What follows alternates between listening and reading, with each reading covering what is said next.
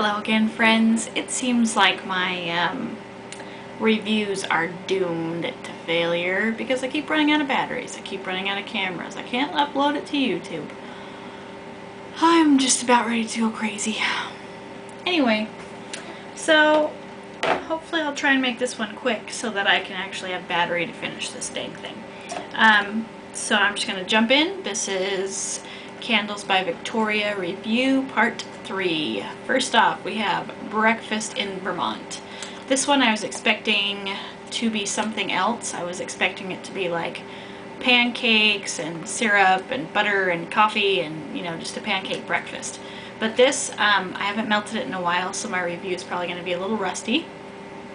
Um, it doesn't smell like that at all to me. It smells like um, maybe white chocolate and maybe a little bit of syrupy pancakes in the background. But that's about it. It's really good. It blooms once you melt it. Um, but that's all I've got on this one. Sorry guys. Uh, next, this should be in my favorites review, which will be my next one, but I needed to keep the reviews even, so I added it to this one. And this one, I know Callie Girl loves this one. Shout out! Whoop, whoop. Um, is Hello Dolly. This one, the description for it is supposed to be um, bubbling butterscotch sundae, um, coconut cream pie, and fudge brownie. And let me tell you guys, I've had this on my wish list forever. And, you know, I kept putting it off. But then I got it in the round robin and I was like, holy crap. I'm a believer. I'm a believer. It smells so good. First off, you get the butterscotch and you get the coconut cream pie. They meld together so smoothly. Oh, it's so good. To be honest, I don't really... Oh, got wax all up my nose. Um, I don't really smell a lot of the fudge brownie, but when I melted this one, I remember it being so creamy and so delicious that I just wanted to drink the wax. And that would be a very bad idea. Um, but this one is really, really, really, really good. Get it. You'll be a believer too. Uh, next, we have got Christmas Cabin. And this is like a nice bright cranberry red color. Um, this one, it's not one of my favorites. Uh, it, it's different. Um, it smells like it might have a little bit of spice in there, just a little bit. But then it's got berries, and I couldn't tell you what kind of berries they were. Maybe a strawberry or a raspberry but it's it's a nice scent. It's just not not my favorite. Um, it kind of just says almost fall to me, but not really. It doesn't really have a season. Um, next, we've got White Chocolate Karibu.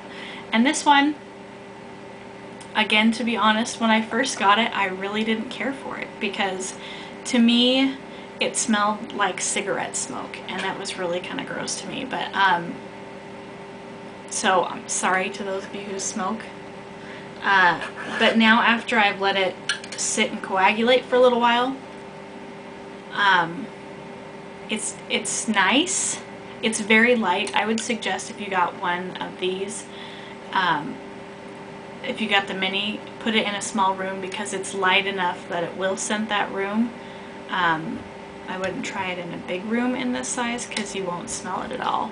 Um, sorry, I say um a lot. First I smell roasted cashews and I love cashews. And then I get um, white chocolate. So it's almost kind of like a creamy white chocolate cocoa. I still get kind of a kind of an after hint of um, smoke, but it's not necessarily the cigarette smoke this time. It's, it's nice, it's light. Yeah, I like it. I like it. It's not my favorite, but I do like it. Uh, next, I got Warm Christmas Splendor. Now this one, I don't like peppermint candles, even though I want to try peppermint bark. Um, it, it's, I don't really do peppermint candles because, I don't know, they just stink me out for some reason.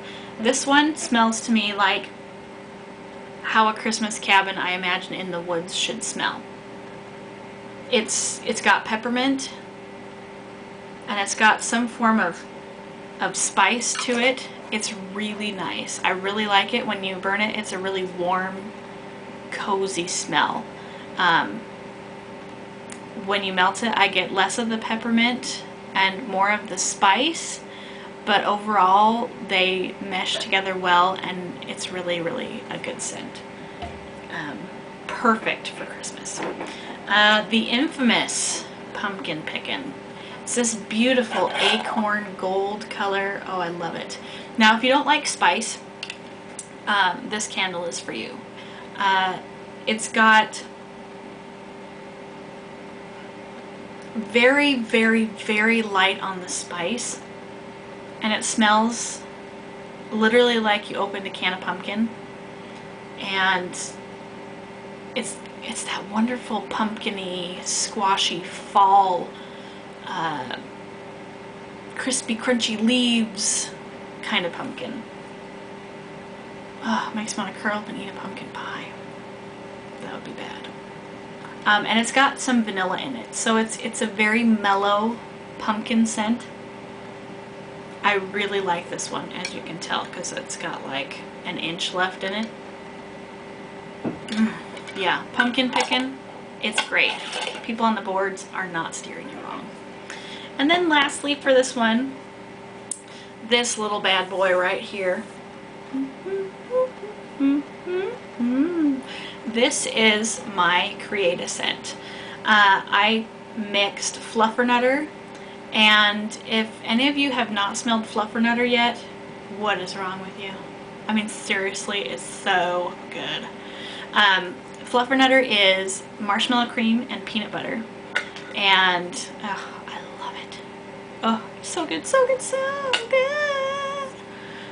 Sorry, I, I told you I'm a little weird. Um, and I mixed buttery caramel in it. And I love, love, love, love caramel. I could drink it, I could bathe in it, I could wear it, I could live in it. I love caramel. So this, um, mm, it's so good. Mmm, you can smell right off the caramel and the peanut butter. It like mixes together and makes this yummy love child of peanut buttery caramelness. Oh, sorry, I forgot to tell you, I named it Fluffy Caramel. I know, original, right? Um, yeah, when you burn this one, all the scents just melt together into this gooey, sticky treat that you just want to get a spoon and eat it. Um, you get kind of that warm, caramely, like homemade caramel kind of smell, and then you get the sweet of the marshmallow cream and the nutty, yummy crunchiness of the peanut butter. It's so good. Mm. So yeah, fluffernutter and buttery caramel makes fluffy caramel. So yeah, I hope you guys are liking my reviews so far because I'm an amateur at this. So uh, stay tuned for part four, which has got all of my favorite scents in it. yeah, I don't know what that was. Okay, bye-bye now.